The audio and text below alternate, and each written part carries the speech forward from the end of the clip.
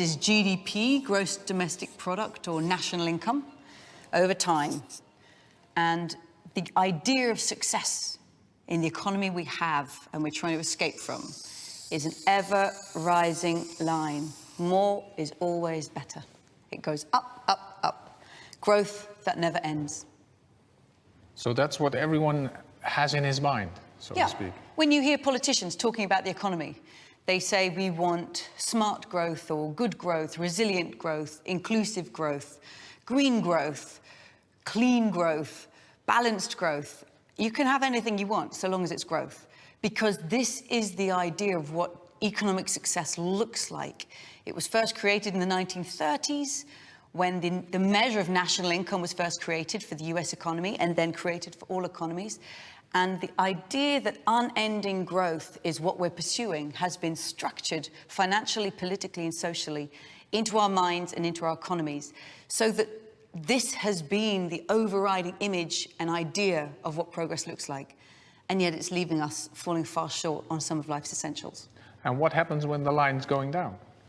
Oh, well, that's obviously... What does that do to people? Well, when you have an economy that is dependent, demands and expects unending growth, and it's not coming, of course, it's a disaster. Of course, a recession or a crash is an absolute disaster in people's lives. We lose jobs, we lose value from the economy. It's, it's, you know, governments come rushing in and bail out the banks. So, of course, it's a disaster if the line goes down in an economy that depends upon it always going upwards. This is where we're trapped. And this is why we have to get out of this trap of unending growth. And where is it going, the line?